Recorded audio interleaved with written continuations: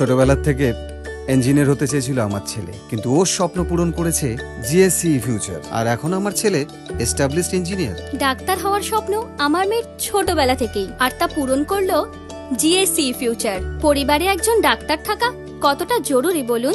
GSC future class ten ও টুয়েলভের board exam শুধু নয় ডাক্তার ইঞ্জিনিয়ার হতেও শেখায়। জিএসসি ফিউচার বড় হতে শেখায়। আমাদের স্বপ্ন পূরণ হয়েছে। আর আপনাদের?